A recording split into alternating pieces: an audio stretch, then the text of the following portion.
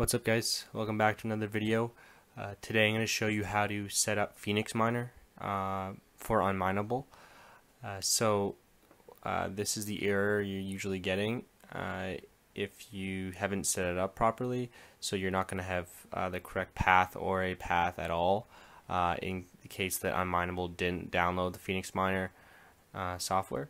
So this is a quick note. This is only for graphics card users. Uh, if you are using a CPU, you'll be using XMRig as a miner. Uh, I have made a tutorial video on that, and I'll uh, I'll cue that if you are using CPU. I'll put it in the link or whatever. Uh, so today we're going to show go over graphics card, and we'll be using Phoenix Miner. So before we can add the path to Phoenix Miner, we're going to have to download it. So head over to Google, and I'll add the uh, link to the download in the description. So we're going to search up Phoenix Miner, download first link and then we have the download section. Uh, but again, I'll leave this exact link in the link in the description. Uh, so we're going to go with the latest version, which is 5.6D. So just pick the this one, the zip file, Windows. Then we're going to go to our downloads.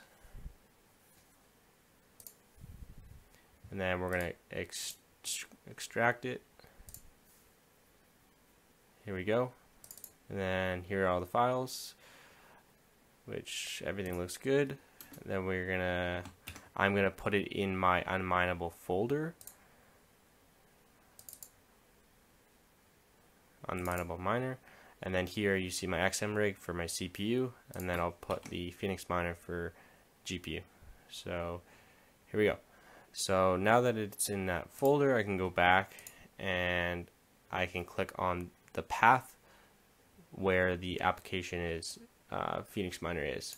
So I'm going to go to my unMineable folder, unMineable miner, and then Phoenix Miner, and then I'm going to click on phoenixminer.exe. Make sure you click on this as the path, the application itself, phoenixminer.exe. Press open, and now it's all um, it's linked to the Phoenix Miner so it knows where to go.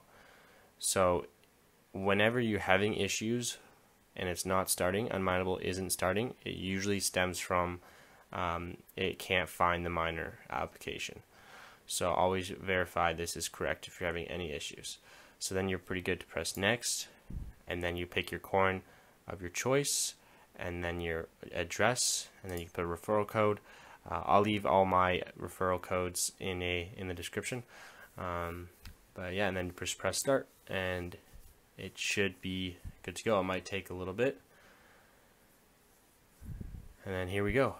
Um, so yeah, that's pretty much it. Oh, and if you have this for the first time, whenever you use Phoenix Miner, it will um, ask for your permission, but you can allow access, and then it will be the uh, Phoenix Miner miner should be able to run. So again, that's pretty much it. If again, if you're using uh, CPU, I have created a tutorial on how to do that uh, for XMRig, and this is for GPU use only for Phoenix Miner. And uh, so yeah, I hope you guys enjoyed the video and found it helpful. Um, if you have any questions, leave them down in the comment section, and I'll uh, I'll get back to you. But I'll catch you in the next one. Peace.